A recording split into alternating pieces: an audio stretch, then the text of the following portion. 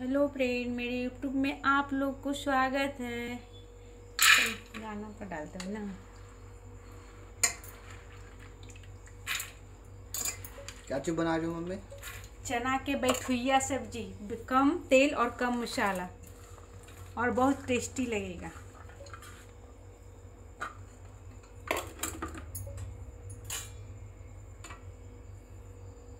हल्दी।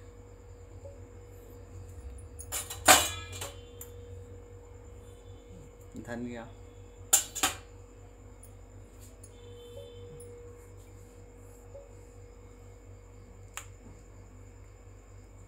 हरा मिर्च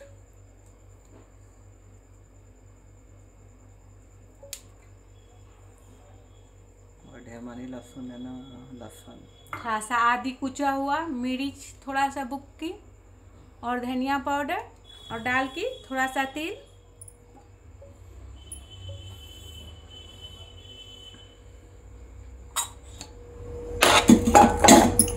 थोड़ी सी नमक स्वाद अनुसार इसको.